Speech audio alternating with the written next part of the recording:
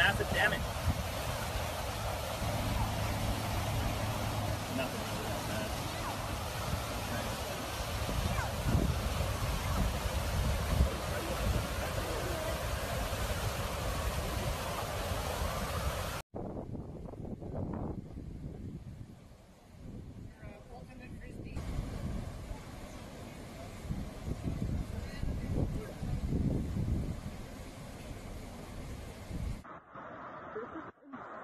Here, trying to get the river to go that way.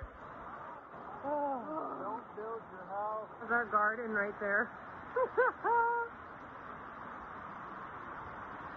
and now we got a river.